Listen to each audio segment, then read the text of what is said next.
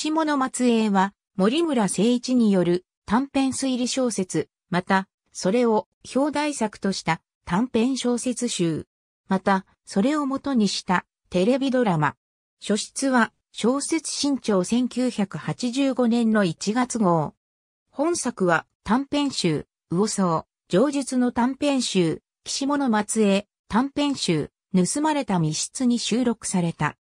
短編集、岸物松江は、表題作をはじめ、密相、禁じられた、墓標、構想の墳墓、神風の純愛、ラストファミリーの6作品が収録されている。亡き夫と始めた、クリーニング点数店舗を経営する根本恵子は、一人息子の根本圭一を育ててきたシングルマザーである。恵子はかつて3人を殺しているが、警察には一度も捕まらなかった。一度目は太平洋戦争を中国大陸で迎え、日本に帰る船の上でデッキに一緒にいた子供を海に突き落とした。二度目は、慶一の一歳年上で近所のガキ大将の玄太に石を落として殺した。三度目は、酒と女にはまり、自分と慶一に暴力を振るうようになった夫の首を絞め、道路に放置し車に引かせた。大人になった慶一は、尾形義恵と結婚し、一年ほどは三人で生活してたが、吉江の希望で別居することになった。嫁姑関係がギクシャクし、吉江に殺意を抱くようになる。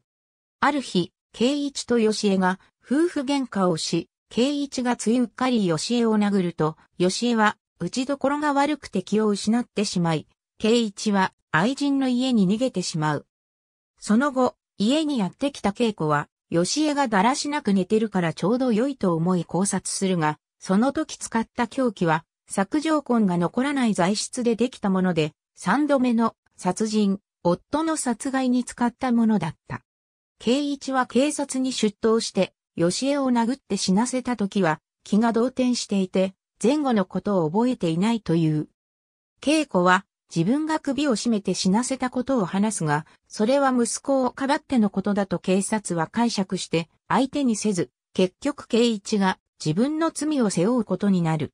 そんな恵子は無傷で生き残った自分こそ岸物末裔だと思うようになる。